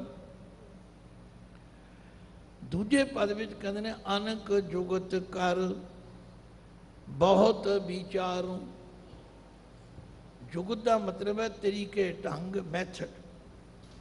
ਕਈ ਤਰੀਕਿਆਂ ਨਾਲ ਮੈਂ ਵਿਚਾਰ ਕਰਦਾ, ਮੈਂ ਆ ਕਰਾਂ, ਮੈਂ ਉਹ ਕਰਾਂ, ਮੈਂ ਉਹ ਕਰਾਂ। ਅਨਕ ਜੁਗਤ ਕਰ ਬਹੁਤ ਵਿਚਾਰੂ, ਪਰ ਉਸ ਵਿਚਾਰ ਕਰਦਿਆਂ ਕਰਦਿਆਂ ਗੱਲ ਸਮਝ ਆਈ ਹੈ।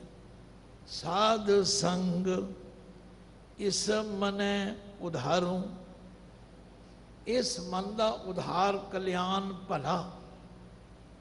ਇਹ ਗੁਰੂ ਦੀ ਸੰਗਤ ਵਿੱਚ ਆ ਕੇ ਹੋ ਸਕਦਾ ਹੈ ਤੇ ਸਾਡੇ ਵਿੱਚੋਂ ਕਈ ਐਸੇ ਵੀ ਅਹੰਕਾਰੀ ਬਣ ਗਏ। ਸਾਡਾ ਜੀ ਘਰ ਹੀ ਗੁਰਦੁਆਰਾ ਅਸੀਂ ਗੁਰਦੁਆਰੇ ਜਾਂਦੇ ਹੀ ਨਹੀਂ। ਇਹ ਸੋਚ ਬੜੀ ਖਤਰਨਾਕ ਹੈ। ਗੁਰੂ ਸਾਹਿਬ ਤੇ ਕਹਿ ਰਹੇ ਨੇ, ਗੁਰੂ ਦੇ ਘਰ ਵਿੱਚ ਆ ਕੇ ਸੋਝੀ ਮਿਲਦੀ ਹੈ।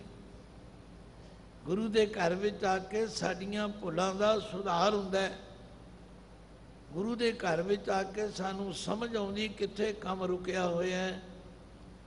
ਭਗਤ ਕਬੀਰ ਜੀ ਆਪਣੇ ਨਾਲ ਹੱਡ ਬੀਤੀ ਦੱਸਦੇ ਨੇ। ਕਹਿੰਦੇ ਨੇ, ਮੈਂ ਸਭ ਕੁਝ ਕਰਦਾ ਸੀ, ਪਰ ਗੱਲ ਬਣਦੀ ਨਹੀਂ ਸੀ। ਫਿਰ ਗੁਰੂ ਦੇ ਦਰ ਤੇ ਗਿਆ ਤੇ ਮੈਂ ਹੱਥ ਜੋੜ ਕੇ ਬੇਨਤੀ ਕੀਤੀ, ਮਹਾਰਾਜ, ਮੇਰੇ ਤੇ ਕਿਰਪਾ ਕਰੋ। ਤੇ ਗੁਰ ਦਿਖਲਾਈ ਮੋਰੀ। ਮੋਰੀ। ਇਹ ਸ਼ਬਦ ਆਮ ਵਰਤਿਆ ਜਾਂਦਾ ਸਾਡੇ ਸਮਾਜ ਮੋਰੀ ਦਾ ਅਰਥ ਮੇਰੀ ਵੀ ਹੈ, ਪਰ ਇੱਥੇ ਮੋਰੀ ਦਾ ਅਰਥ ਹੈ ਵੀਕਨੈਸ ਖੱਪਾ, ਕਮਜ਼ੋਰੀ। ਜਿਵੇਂ ਧੰਨ ਗੁਰੂ ਤੇਗ ਬਹਾਦਰ ਜੀ ਸਮਝਾਉਂਦੇ ਨੇ ਸਾਡੀਆਂ ਕਮਜ਼ੋਰੀਆਂ। ਕਹਿੰਦੇ ਤੀਰਤ ਵਰਤ ਅਰਦਾਨ ਕਰ, ਮਨ ਮੈਂ ਧਰੈ ਗੁਮਾਨ। ਨਾਨਕ ਨੇਫਲ ਜਾਤ ਤੇ ਜਿਉ ਕੁੰਚਰ ਇਸ਼ਨਾਨ। ਇਹ ਮੋਰੀ ਹੈ। ਗੁਰ ਦਿਖਲਾਈ ਮੋਰੀ, ਜਿਤ ਮਿਰਗ ਪੜਤ ਹੈ ਚੋਰੀ। ਮੂੰਦ ਲਿਏ ਦਰਵਾਜੇ ਬਾਜੀਲੇ ਅਨਹਦ ਬਾਜੇ। ਸਮਾਂ ਥੁੜ ਜਾਂਦਾ ਹੈ। ਗੁਰੂ ਕੇ ਭੰਡਾਰ ਵਿੱਚੋਂ ਬੜੇ ਮੋਤੀ ਮਿਲਦੇ ਨੇ, ਬੜੇ ਮਾਣਕ ਮਿਲਦੇ ਸਾਰੇ ਸਵਾਲਾਂ ਦਾ ਜਵਾਬ ਦਿੰਦੇ ਨੇ ਗੁਰੂ ਗ੍ਰੰਥ ਸਾਹਿਬ ਜੀ। ਪਰ ਅਸੀਂ ਤੇ ਆਪਣੀਆਂ ਚਤੁਰਾਈਆਂ ਦੇ ਮਾਰੇ ਹੋਏ ਤੋਂ ਲੈ ਹੀ ਕੁਝ ਨਹੀਂ ਸਕਦੇ ਪਾਤਸ਼ਾਹ ਕਹਿੰਦੇ ਨੇ, ਅਨਕ ਜੁਗਤ ਕਰ ਬਹੁਤ ਵਿਚਾਰੂ, ਸਾਧ ਸੰਗ ਇਸ ਮਨੇ ਉਧਾਰੂ। ਭਈ ਗੁਰੂ ਦੀ ਸੰਗਤ ਵਿੱਚ ਆ ਕੇ ਇਸ ਮਨ ਦਾ ਉਧਾਰ ਕਰਨਾ, ਉਧਾਰੋਂ, ਇਸ ਮਨ ਨੂੰ ਸਵਾਰਨਾ ਕਿਉਂਕਿ ਇਹ ਜਿਹੜੀ ਗੁਰੂ ਦੀ ਸੰਗਤ ਹੈ ਨਾ, ਇਹ ਜਹਾਜ਼ ਰੂਪੀ ਹੈ। ਜਿਹਨੂੰ ਨਾ ਤਰਨਾ ਆਉਂਦਾ ਹੋਵੇ, ਉਹ ਜਹਾਜ਼ ਤੇ ਬਹਿ ਜਾਏ, ਪਾਰ ਹੋ ਜਾ ਐਵੇਂ ਥੋੜਾ ਗੁਰੂ ਅਰਜਨ ਦੇਵ ਸੱਚੇ ਪਾਤਸ਼ਾਹ ਨੇ ਫਰਮਾਇਆ, ਭਾਈ, ਜਿਹਦਾ ਮਨ ਨਾ ਟਿਕਦਾ ਹੋਵੇ, ਉਹ ਸ਼ਬਦ ਦੀ ਵਿਚਾਰ ਕਰੋ, ਮਨ ਟਿਕ ਜਾਏਗਾ। ਪੜੀ ਜਾਂਦੇ। ਗੁਰੂ ਦੇ ਦਰਸ਼ਨ, ਗੁਰੂ ਦੀ ਸੰਗਤ ਬਹੁਤ ਕੁਝ ਦਿੰਦੀ ਜਿਹੜਾ ਆਂਦਾ ਨਾ, ਮੇਰਾ ਮਨ ਨਹੀਂ ਟਿਕਦਾ, ਉਹ ਸ਼ਬਦ ਦੀ ਵਿਚਾਰ ਕਰੇ, ਮਨ ਟਿਕ ਜਾਏ। ਮਨ ਕੀ ਕਰੇ? ਇਹਦੇ ਚ ਅਸੀਂ ਇੰਨਾ ਕੁਝ ਪਹਿਲਾਂ ਹੀ ਭਰਿਆ ਹੋਇਆ ਉਹ ਕੱਢਣ ਲਈ ਤਿਆਰ ਨਹੀਂ ਹੈ। ਤੇ ਪਾਤਸ਼ਾਹ ਕਹਿੰਦੇ ਨੇ, ਭਾਈ, ਇਸ ਮਨ ਨੂੰ ਟਿਕਾਉਣ ਲਈ ਗੁਰੂ ਦਾ ਸ਼ਬਦ ਬੜੀ ਸਹਾਇਤਾ ਕਰ। ਕਿਵੇਂ? ਜਿਉ ਮੰਦਰ ਕੋ ਥਾਮੈ ਥੰਮਨ ਜਿਉ ਮੰਦਰ ਕੋ ਥਾਮੈ ਥੰਮਨ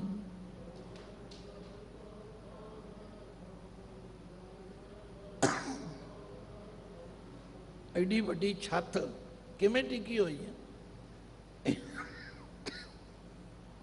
ਇਹਨਾਂ ਥੰਮਲਿਆਂ ਕਰਕੇ ਇਹਨਾਂ ਦੀਵਾਰਾਂ ਕਰਕੇ ਟਿਕੀ ਹੋਈ ਹੈ ਆਖਿਆ ਜਿਉ ਮੰਦਰ ਕੋ ਥਾਮੈ ਥੰਮਨ ਤਿਉ ਗੁਰ ਕਾ ਸ਼ਬਦ ਮਨੈ ਅਸ ਥੰਮਨ ਜਿਉ ਪਾਖਾਨ ਨਾਵ ਚੜ ਤਰੈ। ਪੱਥਰ ਦਾ ਛੋਟਾ ਜਿਹਾ ਗੀਟਾ ਹੋਵੇ ਜਾਂ ਵੱਡਾ ਹੋਵੇ, ਪਾਣੀ ਵੀ ਸੁੱਟੋ ਡੁੱਬ ਜਾਏ। ਪਰ ਉਸੇ ਪੱਥਰ ਨੂੰ ਬੇੜੀ ਤੇ ਧਰ ਦਿਓ, ਤਰ ਜਾਏ। ਜਿਉ ਪਾਖਾਨ ਨਾਵ ਚੜ ਤਰੈ, ਪ੍ਰਾਣੀ ਗੁਰ ਚਰਨ ਲਗਤ ਨਿਸਤਰੈ। ਜਿਉ ਅੰਧਕਾਰ ਦੀਪਕ ਪ੍ਰਗਾਸ ਗੁਰਦਰਸ਼ਨ ਦੇਖ, ਮਨ ਹੋਏ ਵਿਗਾਸ। ਹੁਣ ਅਸੀਂ ਗੁਰੂ ਕੇ ਦਰਸ਼ਨ ਸਿਰਫ ਉੱਥੇ ਮੱਥਾ ਟੇਕਿਆ, ਫਿਰ ਉੱਥੇ ਟੇਕਿਆ, ਫਿਰ ਉੱਥੇ ਟੇਕਿਆ, ਬਸ ਦਰਸ਼ਨ ਕਰ ਆਏ ਹਾਂ ਜੀ। ਅਰੇ ਨਹੀਂ, ਗੁਰੂ ਸਾਹਿਬ ਨੂੰ ਪੁੱਛ ਕੇ ਵੇਖੋ, ਮਹਾਰਾਜ ਤੁਹਾਡੇ ਦਰਸ਼ਨ ਕਿਵੇਂ ਹੁੰਦੇ ਨੇ? ਤੁਹਾਨੂੰ ਮੱਥਾ ਕਿਵੇਂ ਟੇਕੀਦਾ ਹੈ? ਮੈਨੂੰ ਤੇ ਇੱਕ ਅਨੁਭਵੀ ਪੁਰਸ਼ ਨੇ ਕਿਹਾ ਸੀ, ਭਾਈ ਗੁਰੂ ਅੱਗੇ ਨਿਵਣਾ, ਤੁਧ ਨੂੰ ਨਿਵਣ, ਮੰਨਣ ਤੇਰਾ ਨਾਮ ਤੁਧ ਨੂੰ ਨਿਵਣ, ਮੰਨਣ ਤੇਰਾ ਨਾਮ ਮੰਨਣ ਤੇਰਾ ਨਾਮ ਤੁਧ ਨੂੰ ਨਿਵਣ। ਹੈ ਸਤਿਗੁਰੂ, ਤੁਹਾਡੇ ਅੱਗੇ ਨਿਵਣਾ, ਉਹ ਪਰਵਾਨਾ ਜਿਹੜਾ ਤੁਹਾਡੇ ਹੁਕਮ ਨੂੰ ਮੰਨਿਆ ਜਾਏ। ਜਿਨ੍ਹਾਂ ਕੰਮਾਂ ਤੋਂ ਗੁਰੂ ਰੋਕੇ ਰੁਕ ਜਾਓ। ਜਿਹੜੇ ਕੰਮ ਕਰਨ ਲਈ ਗੁਰੂ ਕਵੇ ਉਹ ਕਰੋ। ਪਰ ਅੱਜ ਦਾ ਸਿੱਖ ਤੇ ਕਹਿੰਦਾ, ਨਹੀਂ ਜੀ, ਜੋ ਮੈਂ ਚਾਹੁੰਦਾ, ਗੁਰੂ ਉਹ ਹੁਕਮ ਕਰੇ।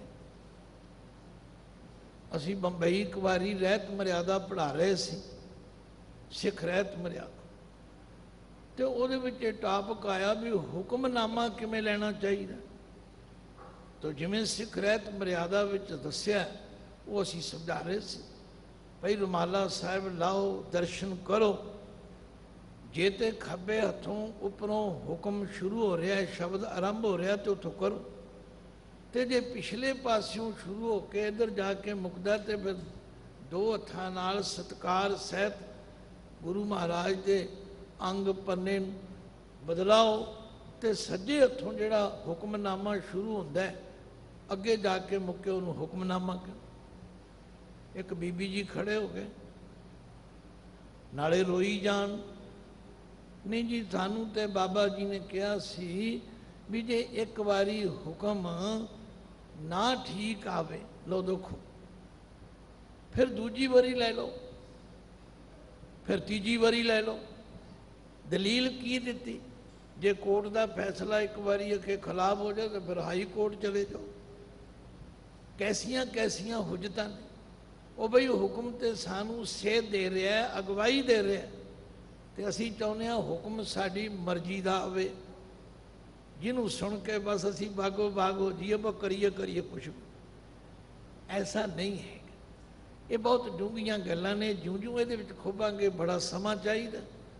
ਤੋ ਸਰਲ ਜੀ ਭਾਸ਼ਾ ਵਿੱਚ ਗੁਰੂ ਅਰਜਨ ਦੇਵ ਪਾਤਸ਼ਾਹ ਕਹਿੰਦੇ ਨੇ, ਮੈਂ ਬਹੁਤ ਵਿਚਾਰ ਕੀਤੀ। ਤੇ ਵਿਚਾਰ ਕਰਕੇ ਮੈਨੂੰ ਆ ਗੱਲ ਸਮਝ ਆਈ ਹੈ। ਅਨਕ ਜੁਗਤ ਕਰ ਬਹੁਰ ਵਿਚਾਰੂੰ, ਬਹੁਤ ਵਿਚਾਰੂੰ, ਸਾਧ ਸੰਗ ਇਸ ਮਨੈ ਉਧਾਰੂ। ਇਹ ਜਿਹੜੀ ਗੁਰੂ ਦੀ ਸੰਗਤ ਹੈ ਨਾ, ਇਹਦੇ ਵਿੱਚ ਆ ਕੇ ਗੁਰੂ ਕੇ ਬਚਨ ਸੁਣੀਏ, ਇਸ ਮਨੈ ਉਧਾਰੋਂ।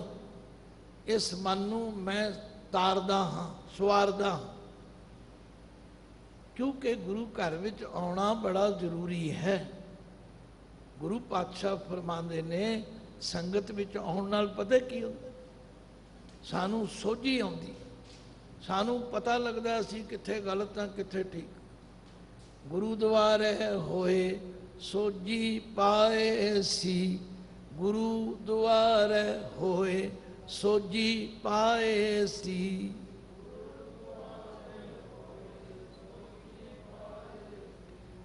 ਗੁਰੂ ਦੁਆਰੇ ਭਾਂਡਾ ਹੱਥਾ ਸੋਏ ਜੋ ਤਿਸ ਭਾਵ ਸੀ। ਭਾਂਡਾ ਆਤਮਲੀਨ ਧੋਤਾ ਹੱਥਾ ਨਾ ਹੋਏ ਸੀ। ਗੁਰੂ ਦੁਆਰੇ ਹੋਏ ਸੋਜੀ ਪਾਏ ਸੀ। ਏਤ ਦੁਆਰੇ ਧੋਏ ਹੱਛਾ ਹੋਏ ਸੀ। ਮੈਲੇ ਹੱਛੇ ਕਾ ਵਿਚਾਰ ਆਪ ਵਰਤਾਏ ਸੀ। ਮਤ ਕੋ ਜਾਣੇ ਜਾਏ, ਅੱਗੇ ਪਾਏ ਸੀ। ਜੇ ਕਰਮ ਕਮਾਏ, ਤੇ ਆਹ ਹੋਏ ਸੀ। ਇਹ ਜੋ ਕੁਝ ਗੁਰੂ ਪਾਤਸ਼ਾਹ ਨੇ ਬਖਸ਼ਿਸ਼ ਕੀਤੀ, ਅਸੀਂ ਇਹਨੂੰ ਵਿਚਾਰੀਏ। ਤੋ ਗੁਰੂ ਅਰਜਨ ਦੇਵ ਪਾਤਸ਼ਾਹ ਆਪਣੇ ਤੇ ਟੁਕਾ ਕੇ ਕਹਿੰਦੇ ਨੇ, ਅਨਕ ਜੁਗਤ ਕਰ ਬਹੁਤ ਵਿਚਾਰੂ, ਅਨਕ ਜੁਗਤ ਕਰ ਬਹੁਤ ਵਿਚਾਰੂ। ਅਨਕ ਜੁਗਤ ਕਰ। ਸਾਧ ਸੰਗ ਇਸ ਮਨੈ ਉਧਾਰੂ। ਸਾਧ ਸੰਗ ਇਸ ਮਨੈ ਉਧਾਰੂ।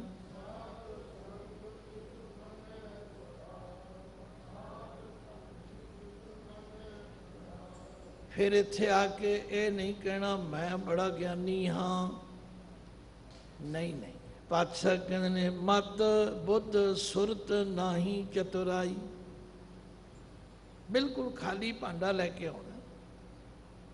ਅਹੀਂ ਦੇ ਅੰਦਰ ਭਰਿਆ ਬੜਾ ਕੁਝ ਇਹ ਜਿਹੜਾ ਨਾਹੀ ਸ਼ਬਦ ਹੈ ਨਾ, ਇਹ ਦੇਲੀ ਦੀਪਕ ਹੈ।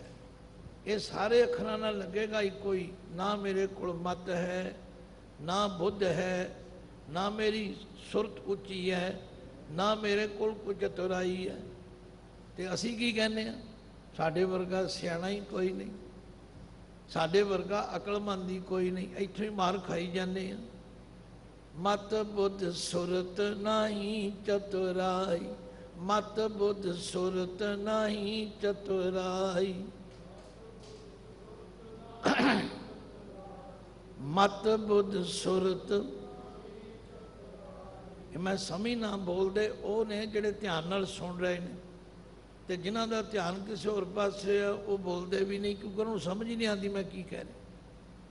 ਇਹ ਤਾਂ ਇਹ ਭਾਂਡਾ ਸਿੱਧਾ ਕਰਨਾ ਪੈਂਦਾ।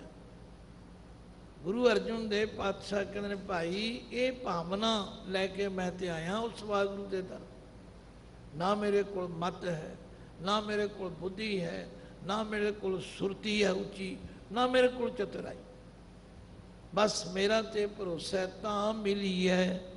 ਜਾਨ ਲਏ ਮਲਾਈ, ਤਾਂ ਮਿਲੀ ਹੈ ਜਾਨ ਲਏ ਮਿਲਾਈ। ਤਾਂ ਮਿਲੀ ਹੈ ਤਾਂ ਹੀ ਮਿਲਿਆ ਜਾਏਗਾ ਜਦੋਂ ਉਹ ਆਪ ਕਿਰਪਾ ਕਰੇ। ਇੱਥੇ ਵੀ ਅਸੀਂ ਖੁੰਝ ਜਾਂਦੇ ਹਾਂ। ਉਹ ਜੀ ਸਾਡੇ ਤੇ ਹਾਲੀ ਕਿਰਪਾ ਹੀ ਨਹੀਂ ਹੋਈ। ਜੇ ਕਹੀਏ ਨਾ, ਕਿਸੇ ਨੂੰ ਅੰਮ੍ਰਿਤ ਛਕ ਲਓ, ਸ਼ਰਾਬ ਛੱਡ ਦਿਓ, ਉਹ ਜੀ ਹਾਲੀ ਸਾਡੇ ਤੇ ਕਿਰਪਾ ਨਹੀਂ ਹੋਈ ਹੈ। ਹੁਜਤ ਕਰਦੇ ਆ ਭਾਵਨਾ ਇਹ ਹੋਣੀ ਚਾਹੀਦੀ ਹੈ, ਤਾਂ ਮਿਲੀ ਹੈ ਜਾਂ ਲੈ ਮਿਲਾਈ। ਤਾਂ ਮਿਲੀ ਹੈ ਜਾਂ ਲੈ ਮਿਲਾਈ।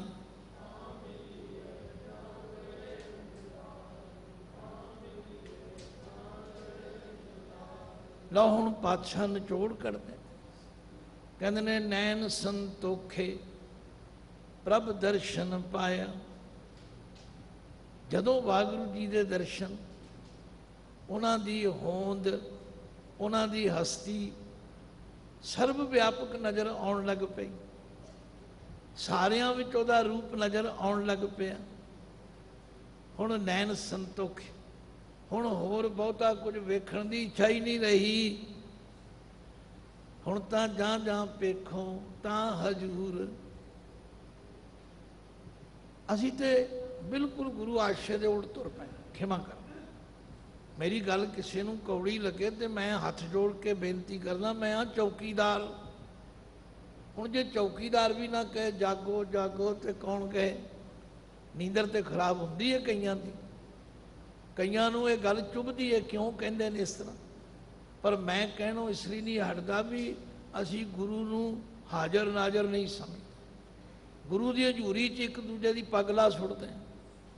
ਤਲਵਾਰਾਂ ਕੱਢ ਲੈਂਦੇ ਹਾਂ। ਕਿਉਂ ਜੀ? ਇਹ ਗੁਰੂ ਦੀ ਹਜ਼ੂਰੀ ਹੈ। ਅਸੀਂ ਨਹੀਂ ਗੁਰੂ ਦੇ ਦਰਸ਼ਨ ਕਰ ਰਹੇ, ਨਾ ਪਰਮੇਸ਼ਵਰ ਸਾਨੂੰ ਨਜ਼ਰ ਆਉਂਦਾ। ਮਹਾਰਾਜ ਕਹਿੰਦੇ ਨੇ, ਨੈਣ ਸੰਤੋਖੇ ਪ੍ਰਭ ਦਰਸ਼ਨ ਪਾਇਆ। ਜਦੋਂ ਵਾਹਿਗੁਰੂ ਜੀ ਨੂੰ ਸਾਰੀ ਜਗ੍ਹਾ ਤੇ ਵਿਆਪਕ ਵੇਖ ਲਿਆ, ਹੁਣ ਅੱਖਾਂ ਸੰਤੋਖ ਵਿੱਚ ਆ ਗਈਆਂ। ਹੋਰ ਕੁਝ ਵੇਖਣ ਦੀ ਇੱਛਾ ਹੀ ਨਹੀਂ ਰਹੀ। ਨੈਣ ਸੰਤੋਖੇ ਪ੍ਰਭ ਦਰਸ਼ਨ ਪਾਇਆ। ਜਾਂ ਜਾਂ ਪੇਖੋ ਤਾਂ ਹਜੂਰ, ਦੂਰ ਕਤੋਂ ਨਾ ਜਾਈ। ਰਵ ਰਿਆ ਸਰਬਤਰ ਮੈਂ, ਮਨ ਸਦਾ ਤੇ ਆਈ ਗੁਰੂ ਅਰਜਨ ਦੇਵ ਪਾਤਸ਼ਾਹ ਕਹਿੰਦੇ, ਮੈਨੂੰ ਤੇ ਪ੍ਰਾਪਤੀ ਗੁਰੂ ਦੀ ਸੰਗਤ ਵਿੱਚੋਂ ਹੋਈ। ਬਿਸਰ ਗਈ, ਸਭ ਤਾਤ ਪਰਾਈ। ਅੱਗੇ ਤੁਸੀਂ ਪੜ ਲਿਆ ਕਰੋ। ਬਿਸਰ ਗਈ, ਸਭ ਤਾਤ ਪਰਾਈ। ਜਬ ਤੇ ਸਾਧ ਸੰਗਤ ਮੋਏ ਪਾਈ, ਨਾ ਕੋ ਬੈਰੀ ਨਾ ਹੀ ਬੇਗਾਨਾ, ਸਗਲ ਸੰਗ ਹਮ ਕੋ ਬਣਿਆ ਨੈਣ ਸੰਤੋਖੇ ਪ੍ਰਭ ਦਰਸ਼ਨ ਪਾਇਆ, ਕਹੋ ਨਾਨਕ ਸਫਲ ਸੋ ਆਇਆ। ਨਾਨਕ ਜੀ ਫਰਮਾਉਂਦੇ ਨੇ, ਜਿਹਦੇ ਤੇ ਇਸ ਤਰ੍ਹਾਂ ਕਿਰਪਾ ਹੋ ਗਈ, ਸਫਲ ਸੋ ਆਇਆ। ਉਹਦਾ ਸੰਸਾਰ ਵਿੱਚ ਆਉਣਾ ਸਫਲ ਹੋ ਗਿਆ। ਸਫਲ ਕਿਸ ਨੂੰ ਕਹਿੰਦੇ? ਮੈਂ ਕਈ ਵਾਰੀ ਕਹਿਣਾ, ਜਦੋਂ ਅਸੀਂ ਘਰੋਂ ਤੁਰਦੇ ਆਂ ਵੀ ਆਹ ਕੰਮ ਕਰਨ ਜਾਣਾ ਜੇ ਤੇ ਉਹ ਕੰਮ ਹੋ ਜਾਏ ਤੇ ਸਾਡਾ ਜਾਣਾ ਸਫਲ ਹੋ ਗਿਆ। ਜੇ ਉਹ ਬੰਦਾ ਮਿਲ ਜਾਏ, ਅਸੀਂ ਨੇ ਸਾਡਾ ਜਾਣਾ ਸਫਲ ਹੋ ਗਿਆ। ਇਸੇ ਤਰ੍ਹਾਂ ਜੇ ਇਸ ਮਨੁੱਖਾ ਜਨਮ ਵਿੱਚ ਪਰਮੇਸ਼ਵਰ ਦਾ ਮਿਲਾਪ ਹੋ ਜਾਏ ਤੇ ਆਉਣਾ ਸਫਲ ਹੋ ਗਿਆ। ਇਸੇ ਲਈ ਪਾਤਸ਼ਾਹ ਕਹਿੰਦੇ ਸੋ ਜੀਵਤ, ਜੇ ਜੀਵਤ ਜਪਿਆ, ਸੋ ਜੀਵਤ ਜੇ ਜੀਵਤ ਜਪਿਆ। ਸੋ ਜੀਵਤ ਜੇ ਦੇਖੋ, ਆਪਣੇ ਆਪਣੇ ਅੰਦਰ ਚਾਹਤ ਮਾਰੀਏ, ਸਿਰਫ ਪੜੀ ਨਾ ਜਾਈਏ। ਅਸੀਂ ਗੁਰੂ ਕੀ ਗੱਲ ਮੰਨ ਲਈਏ? ਦੇਖੋ, ਅੱਜ ਹੋਰ ਕੱਲ ਹੋਰ ਤਬਦੀਲੀ ਆ ਜਾਏ। ਜਿਹੜੇ ਬੱਚੇ, ਜਿਹੜੇ ਵਿਦਿਆਰਥੀ, ਜਿਹੜੇ ਸਿੱਖ ਗੁਰੂ ਦੀ ਗੱਲ ਮੰਨ ਲੈਂਦੇ ਨੇ, ਉਹਨਾਂ ਦਾ ਜੀਵਨ ਬਦਲ ਜਾਂਦਾ। ਪਰ ਇਹ ਬਦਲਣ ਵਾਸਤੇ ਪਹਿਲਾਂ ਮਰਨਾ ਪੈਂਦਾ।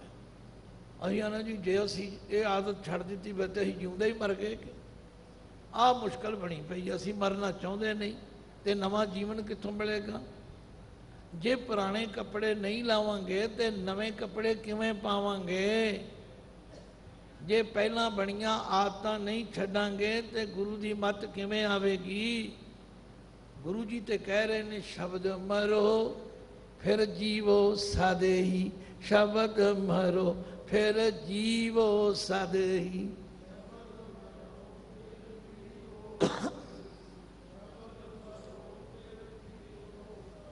ਮੈਂ ਤੇ ਜੀਵਨ ਦੇਖ ਲਿਆ, ਆਪਣਾ ਦੇਖ ਕੇ ਪ੍ਰਚਾਰ ਕਰ ਜੇ ਕਿਸੇ ਨੂੰ ਕਹੋ ਵੀ ਦਾੜੀ ਨਾ ਰੰਗੋ ਆਂਦਾ, ਅੱਛਾ ਜੀ, ਕਰਾਂਗੇ ਜੀ ਸੋਚਾਂ। ਜੇ ਕਿਸੇ ਬੀਬੀ ਭੈਣ ਨੂੰ ਆਖੋ ਪਰਵੱਟੇ ਨਾ ਮੰਨੋ। ਹੈ ਜੀ, ਫਿਰ ਬਿਊਟੀ ਪਾਰਲਰ ਵਾਲੇ ਕਿੱਥੇ ਜਾਣਗੇ? ਹੈ ਕੋਈ ਗੱਲ ਕਰਨ ਵਾਲੀ? ਉਹ ਜਿਹੜੀ ਖੂਬਸੂਰਤੀ, ਜਿਹੜੀ ਸੁੰਦਰਤਾ ਵਾਹਿਗੁਰੂ ਨੇ ਦਿੱਤੀ ਹੈ, ਉਹਦੇ ਉੱਤੋਂ ਹੋਰ ਕੌਣ ਸੁੰਦਰਤਾ ਦੇ ਦੇਗਾ ਤੁਹਾਨੂੰ? ਗੁਰੂ ਕੀ ਗੱਲ ਮੰਨੀ ਹੈ?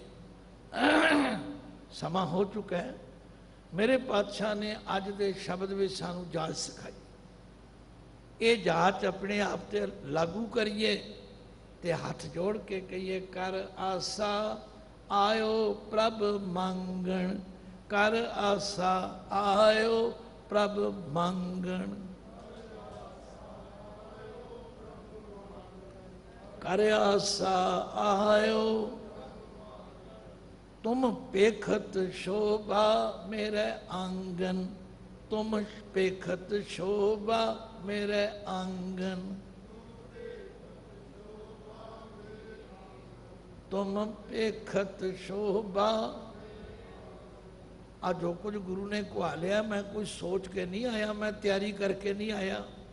ਇਹ ਗੁਰੂ ਨੇ ਹੀ ਕਿਰਪਾ ਕੀਤੀ। ਇਹ ਗੁਰੂ ਸ਼ਬਦ ਵਿੱਚੋਂ ਹੀ ਲਹਿਰਾਂ ਉੱਠੀਆਂ ਨੇ ਤੇ ਜਿਹੜੇ ਇਹਨਾਂ ਲਹਿਰਾਂ ਨੂੰ ਆਪਣੇ ਅੰਦਰ ਸਮੋ ਲੈਣਗੇ, ਉਹਨਾਂ ਦਾ ਆਉਣਾ ਸਫਲ ਹੋ ਜਾਏਗਾ। ਭੁੱਲਾਂ ਚੁੱਕਾਂ ਦੀ, ਖਿਮਾ ਬਖਸ਼ਣੀ। ਜੇ ਕੋਈ ਐਸਾ ਸ਼ਬਦ ਜਿਹੜਾ ਕਿਸੇ ਦੇ ਹਿਰਦੇ ਨੂੰ ਠੇਸ ਪਹੁੰਚਾਵੇ, ਮੇਰਾ ਭਾਵ ਨਹੀਂ ਐਸਾ ਹੈਗਾ। ਮੈਂ ਤੇ ਚੌਕੀਦਾਰੀ ਕਰਨੀ ਹੈ, ਮੈਂ ਤੇ ਗੁਰੂ ਦੀ ਸੇਵਾਦਾਰੀ ਨਿਭਾਉਣੀ ਹੈ। ਤੇ ਜੇ ਮੰਨ ਲਓਗੇ, ਤੁਹਾਡਾ ਵੀ ਭਲਾ ਤੇ ਮੇਰਾ ਵੀ ਕਿਹਾ ਸਫਲ ਹੋ ਜਾਏਗਾ। ਗੱਜ ਕੇ ਫਤਿਹ ਬੁਲਾਓ, ਵਾਹਿਗੁਰੂ ਜੀ ਕਾ ਖਾਲਸਾ, ਵਾਹਿਗੁਰੂ ਜੀ ਕੀ